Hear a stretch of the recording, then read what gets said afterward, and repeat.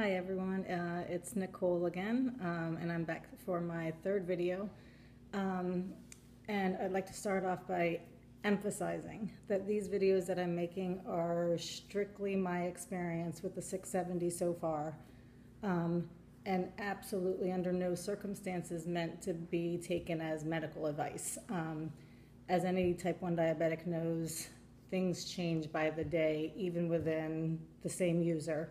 Um, and one thing that's true, one day is not the next, um, and that's just how it is. So I'm sharing what I'm finding to be true only in the hopes that maybe somebody who's stumbling across a similar problem, you know, might give them a new idea. Um, not to be taken, you know, as a as doctor's advice or anything else.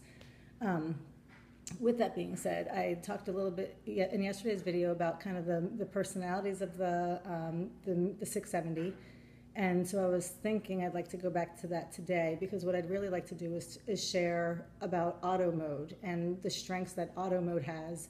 Um, but I feel like for either new users or people considering it, um, that you really kind of have to get a good understanding of what the difference between manual and auto mode is. Um, so to go back to my personalities, because that's what I really do think they are.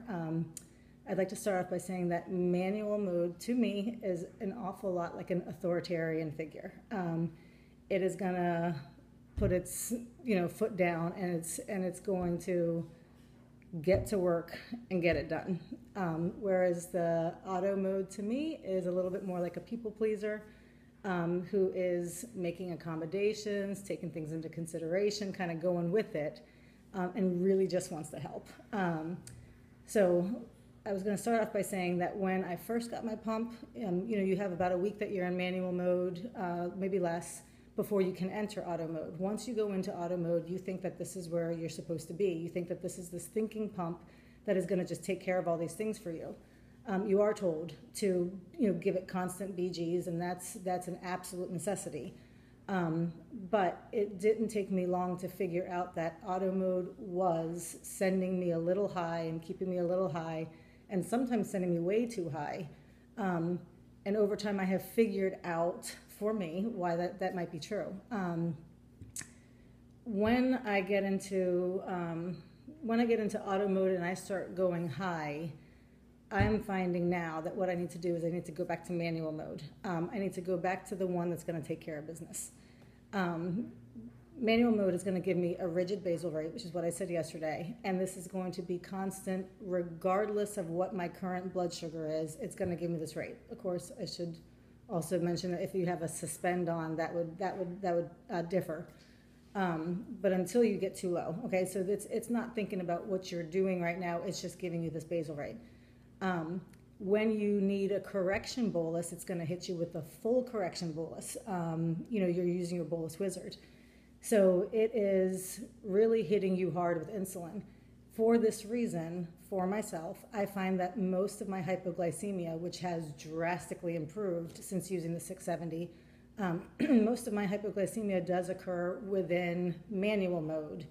Um, and it's old school pumping. It's, you know, you, you crash, you eat your way out, you, um, treat a high if there's a rebound high with insulin you crash you eat your way out you, you know it's repeat.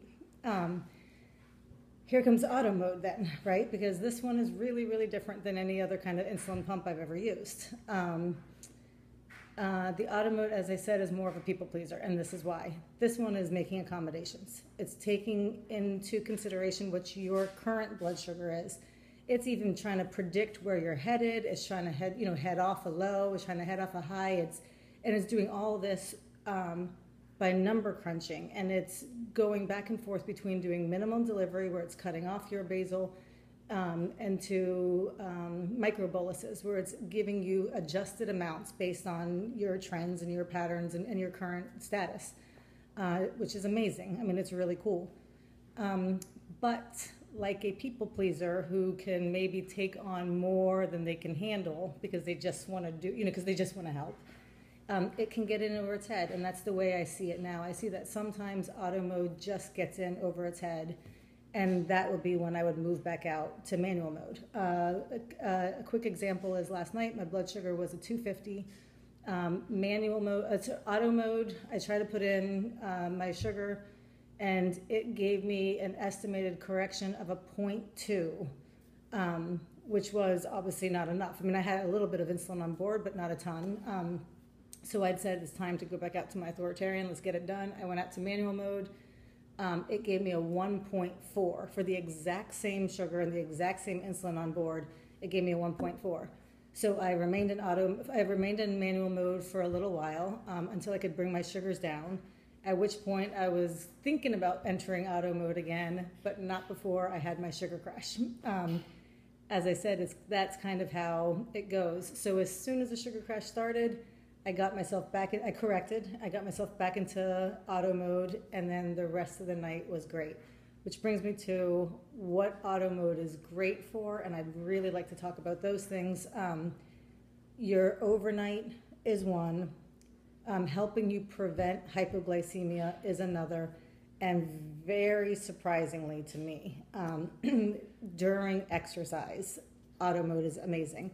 So um, I am six minutes into this, so I'm going to go ahead and end this right now, and then I'll come back with some other stuff later. Bye.